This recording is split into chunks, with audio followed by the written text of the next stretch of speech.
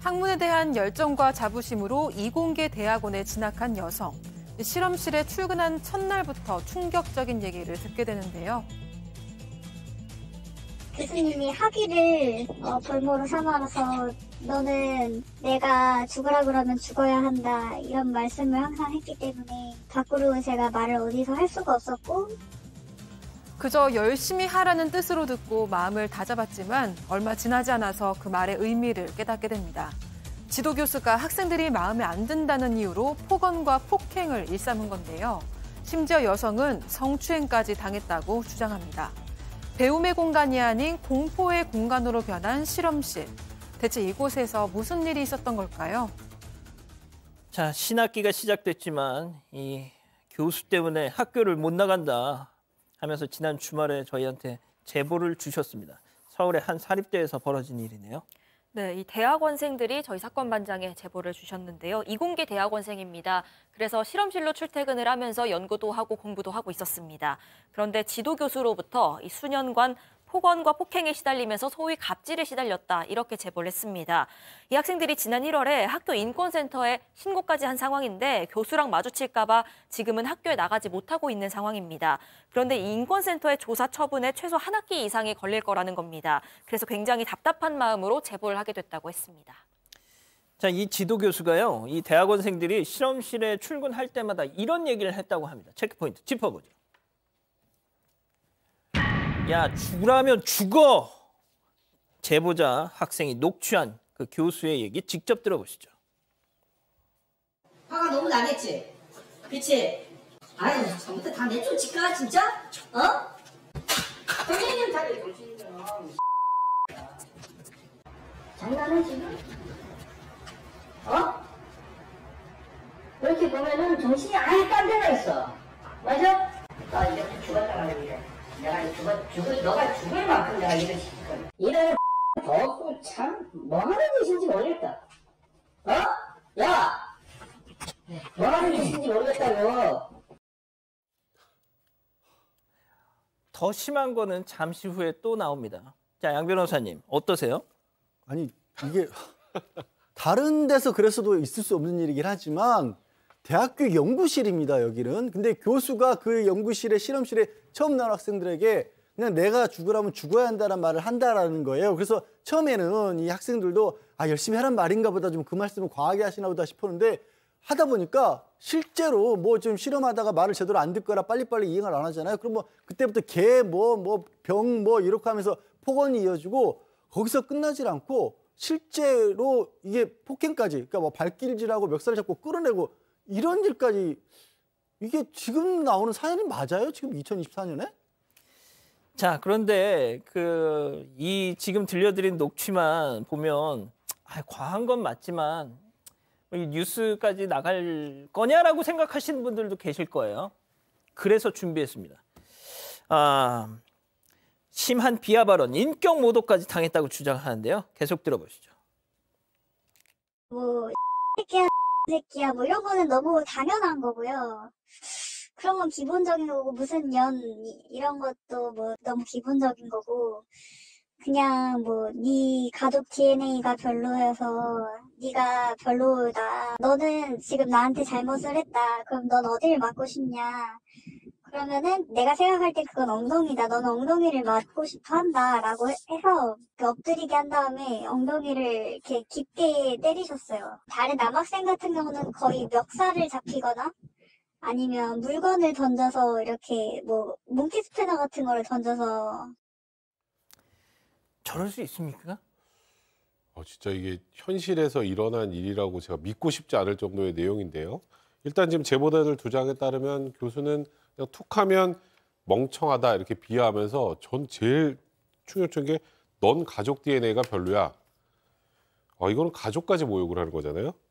그리고 네가 그렇게 멍청하니까 뭐 땡땡 대학 나왔지. 여긴 대학원이니까 아마 다른 대학 나온 예, 학부가 학생을 다른 학부가 다른 뭐 너 같은 어 이거 말을 써- 해도 되는지 모르겠습니다만 돌대가리가 머리 써봐도 쓸데없다. 사회에 나가봤자 도태될 거다. 그리고 심지어 초등학생 과학책 하나 툭 던져주면서 네 수준 딱 이거야. 너도 다른 넌 다른 애들 실험실 출입하지 말고 이 초등학생 책이나 읽어. 이렇게 얘기했다고도 하고 또 여자 대학원생은 더 모욕적인 얘기를 들었다고 하는데 충격적입니다. 엠번방 사건 언급하면서 야 너도 가난해서 저런데 영상 파는 거 아니야? 이런 얘기까지 했다고 합니다. 아까 조금 전에 얘기 들었던 것처럼 뭐 여학생들 엉덩이를 뭐 체벌을 한다거나 뭐 남학생들에게 멍키 스패너 같은 흉기로 위협을 하거나 폭행을 가했다고 하니까 이게 진짜 지금 현재 대한민국에서 벌어진 일인지 제 귀가 의심스럽습니다. 제가 이제 녹취록을 쭉 읽어봤는데요. 아, 제가 이제 저 저한테 이제 가장 좀, 아, 좀, 좀 거슬렸던 대목은 이거였습니다. 아, 이 학교가 되게 명문대 학교 대학원이에요. 근데 이 대학원생들 학부는 다릅니다. 어? 야, 네가 그렇게 멍청하니까 그런 대학을 나왔지. 이딴 소리를 할 교수님, 이건 아니잖아요. 이거는. 아, 저도 이제 같은 업종에 있는 교수로서 뭐 저도 이제 저희 학교에 뭐 대학원생들도 있고 그렇게 하는데 아, 이거는 뭐 좀 너무 좀 충격적인데요. 그래서 뭐 이 그 교수가 이제 자기 이제 얘기를 하는 것은 학생들이 하나라도 더 배웠으면 하는 입장에서 오버한 부분이 있는데 그 학생들이 오해를 했다라고 하는데 아까 녹취한 음성 말투라든가 또는 뭐 조금 전에 이 여학생이 여학생을 엎드려 놓고 엉덩이를 때린다라고 하는 거는 글쎄 이게 뭐 과연 상상을 할 수 있는가라는 생각도 듭니다. 그리고 이제 뭐 본인이 이렇게 얘기해요. 이 석박사 과정에 들어오는 학생 같으면 거기에 상하는 지식이 있어야 되는데 부족한 학생이 있어서 그러면은 본인들이 그러면은 석박사 과정에 선발할 때 거기에 상하는 지식이 없다라고 판단을 했으면 그때 선발하지 않았었어야죠. 음. 하고 난 이후에 이런 식으로 한다라고 하는 것은 이건 있을 수 없는 일이고 그래서 잘 못 따라오는 제자들을 위해서 좀 더 세게 나갔던 것 뿐이지 미워서 그런 건 아니다. 늘 이런 얘기를 해요. 미워서 그런 건 아니다. 심지어는 자기 돈으로 고등학교 책까지 사줬는데 뭐 과연 내가 그런 입장이었겠는가 이렇게 얘기를 하는데 이게 있어요. 넘지 않아야 될 한계 어떤 게 임계선이 있단 말이죠. 다른 거뭐 100개를 잘해주더라도 하나를 갖다가 결정적으로 잘못하게 되면 그때부터는 이 그 듣는 이 학생들이나 제자들이 마음이 상해버리면 그때부터는 모든 게 다 틀어져 버립니다. 그래서 어 이 어떻게 보면 지금 이 대학에서 또 특히 대학원에서 이 석박사 과정 학생들을 어, 놓고 이렇게 하는 것은 내가 너희들이 학위를 취득하는 데 있어서 결정적인 어떤 그 영향력을 행사할 수 있다라고 하는 이 아주 대표적인 갑질이 아닌가라는 생각이 듭니다. 아니 이제 저희한테 이 교수가 해명이라고 했던 얘기 중에도 아 제가 심지어 제 돈으로 고등학교 책까지 사주면서 이렇게 노력을 했는데 오죽 답답하면 그래. 아니 대학원생한테 고등학교 책 던져주면서 이거 가지고 공부하라고 하면 그게 격려입니까? 예? 자 그런데 한 여자 대학원생은요 또 다른 범행을 지속적으로 당했다고 주장하고 있습니다. 이건 주장입니다. 일단 들어보시죠. 지금 5년째 당한 상태고요. 이제 질문을 하고 있는데 제 가슴을 만지시는 거예요. 그래서 제가 너무 깜짝 놀라서 어, 왜 이러시냐 하니까 아, 네 가슴에 뭐가 묻었다. 그래서 제가 딱 봤는데 아무것도 안 묻어 있어서 아, 아무것도 안 묻어 있는데요. 그랬더니 아니다. 묻어 있다. 이러면서 계속 만지시는 거죠. 손이 가슴이 아닌 엉덩이로 내려가기 시작하더라고요. 그래서 그 다음부터 엉덩이를 치시고 때리는 게 시작이 됐어요. 자 양 변호사님. 야, 이거는 조금 전까지 나눴던 얘기에서 차원을 좀 달리합니다. 굉장히 심각한 상황이 될 수 있는 어디까지나 어디까지나 여학생의 주장입니다만 실험실 들어간 첫날부터 실험을 잘하는 손인지 아닌지 손, 손가락을 보겠다면서 손가락을 만지작거리기 시작했다라는 거고요. 들으신 것처럼 그 다음에는 이제 실험실에서 옷에 뭐 묻은 거 있다라면서 가슴 쪽을 만졌다라고 하고요. 두 사람만 실험실에 있었을 때는 정도가 훨씬 더 심각해졌다라고 그렇게 주장하고 있습니다. 뭐 팔 팔꿈치가 그냥 한 번이 아니라 뭐 여러 번 이렇게 가슴 쪽을 문지르고 허리를 손으로 감쌌다고 하고 그러고 나서 이제 뭔가 잘못한 게 있다라고 지적을 하면서 엉덩이를 때려야 돼 때리겠다라고 했는데 그게 이렇게 엉덩이를 때린 것도 굉장히 이 신체 부위를 좀 이렇게 민감하게 좀 뭐 이렇게 좀 어, 수치심을 느낄 수 있을 만큼 이렇게 깊이 때렸다라고 하거든요. 저는 이게 사실이면요. 글쎄요, 저희 사무실에 지금 강제추행죄로 재판받고 있는 사람이 어떤 일을 했는지 한번 보여드리고 싶어요. 지금 그 정도 수준이에요. 그보다 훨씬 심각한 수준이에요. 만약 사실이면. 예. 저희가 이 어, 의혹에 대한 이 해당 교수의 입장도 들어봤는데요. 잠깐 들어보시죠. 뭐 시범 시범을 보이다가 보니까 이 팔꿈치로 이렇게 이렇게 살짝 건드린 부분이 있어요. 그래서 제가 거기에 대해서 사과를 바로 했거든요. 쏘리라고.